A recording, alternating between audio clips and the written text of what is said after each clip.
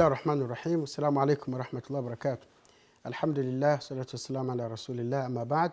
Baada ya kumshukuru allah subhanahu wataala na kumtakia rehma mtume wetu muhammad salllahu alehi wasallam karibuni tena wapenzi wa islam katika kipindi chetu hiki ambacho kinazungumza aina za shirki na vigawanyo vyake. E, tukiwa katika kuelezea uh, masala mbalimbali yanayohusu ushirikina tulizungumza masuala ya uchawi na mazingaombwe au vini macho tukazungumzia masuala ya ukohani pia tukazungumzia masala ya nashra. Nashra manake ni mambo ya kutoa uchawi. Uh, leo inshallah mwenyezimungu akipenda tunazungumzia masuala ya tanjimu. tanjimu manake ni wale waganga wa feleki. Waganga wa feleki au waganga wa nyota. E, tanjimu maana yake ni kutoa dalili kutumia nyota katika kutabiri maswala matukio yanayotokea duniani yaani mtu anatumia hesabu za nyota na nini kwa, na, na sayari mbalimbali mbali, kwa ajili ya kutabiri matukio ambayo yanayotokea uh, duniani. Bian tajal asbaban muathira laha kwamba miongoni mwa sababu zinazowafanya waweze kujua matukio haya yanayotokea duniani ni kwa sababu ya zile ya zile nyota. Uh, hukumu ya mtu kama huyu ni mushrikun shirkan akbar ni mshirikina tena shirki kubwa. Mganga wa nyota ni mshirikina tena shirki kubwa. Mukhrijan an millati lislami na pia e, e, uganga huo au ushirikina huo unamtoa katika dini yetu ya uislamu. Kwa sababu e, hikma ya kuumbwa nyota sio kutabiri mambo yanayojiri duniani. Mwenyezi mungu subhanahu wa taala ametaja hikma ya kuumbwa uh, hizi nyota ambazo tunazoziona. Akasema nyota zimeumbwa kwa sababu kubwa nne e, kwa sababu kubwa tatu. E, sababu ya kwanza zinatulissamaa e, nyota ni pambo la mbingu. Kama vile tunavyoona usiku kuna nyota mbalimbali zinazowaka sana zi ambazo ziko mbali zaidi zilizoko karibu zaidi. Kwa hiyo nyota ni pambo ni pambo ya mbingu na jambo la pili e, nyota ni alama kwa wale wanaosafiri usiku. Kwa hiyo wale wanaosafiri usiku wanazitumia nyota kwa ajili ya kuongozwa kuweza kufika sehemu ambayo wanayotarajia na kusudia. Na ili huwezi kulijua mpaka uwe ni e, wale ambao wanaosafiri kwa kutumia meli maboti majahazi hivyo na pia miongoni mwa faida nyingine ya nyota ni vimondo au ni silaha za kuwapigia mashetani ambao wanaopanda mbinguni kwa ajili ya kwenda kuiba habari kwa malaika. Na hilo mwenyezi mungu subhanahu wa taala amelieleza ndani ya qurani. Kwa hiyo ndugu zangu katika imani kiufupi ni kwamba uganga wa nyota ni ushirikina na mwislamu haruhusiwi kwenda kueleza shida zake na kutaka kutatuliwa mambo yake kupitiwa kwa watu wa sampuli hiyo. Na aina nyingine ya tano ni atamaim atamaim ni mahirizi anasema wahiya ma yuallaqu ala lanaq nayo ni mambo ambayo yananinginizwa kwenye mashingo. Kwa hiyo yanawekwa kwenye mashingo mikononi viunoni miguuni. Yote haya yanaitwa atamaim ni, mashi, ni, ma, ni mahirizi.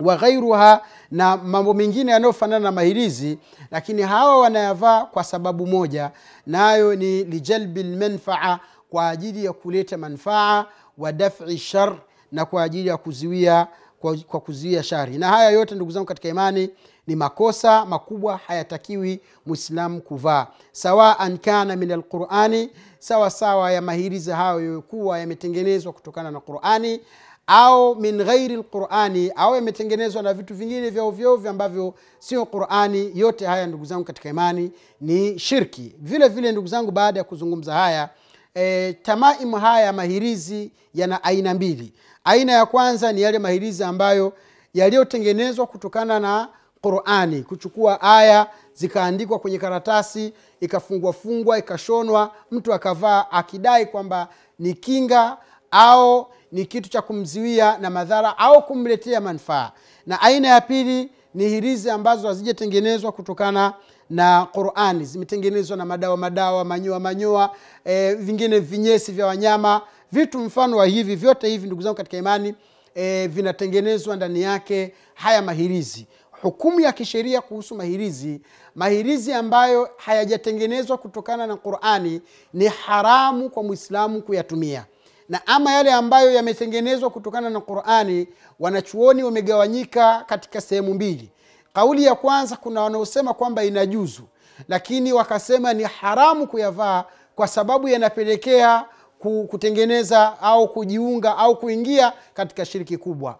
Na kuna yale ambayo kauli nyingine wanachuoni wanasema ni haramu kabisa haijuzu kuvaa au kutumia hirizi ambazo zinatokana na qurani wale walioharamisha wanasema kwa sababu ndani yake kuna kuishushia hadhi qurani lakini pia wakasema lengo lake pia sio kuning'inizwa na kwa sababu pia anayevaa hirizi kama hizo anaweza kuwa akaenda chuoni au akakosea akafanya mambo ya ajabu ajabu akiwa na hiyo qurani. Na kauli sahihi katika kauli za wanachuoni ni kwamba haijuzu kuvaa hirizi iwe imetengenezwa na qurani au haijatengenezwa na qurani ni haramun kwa ajili ya kuvunja kwa ajili ya kuziba mlango wa fitna na kuziba mlango wa shari na ili watu wasiweze ukaingia katika dhambi za ushirikina. Tukimalizia kipindi chetu ndugu zangu katika imani kuna masuala yanayoitwa arruqa. Ruqa maana yake ni kinga. Nazo ndugu zangu katika imani ni, ni kinga ambazo zinazosomwa kupitia qurani taban tunasema kinga ni ruqa tunasema ni zile kinga ambazo zinasomwa ima mtu anaumwa majini au mtu ana matatizo na maradhi ya kawaida akasomewa qurani.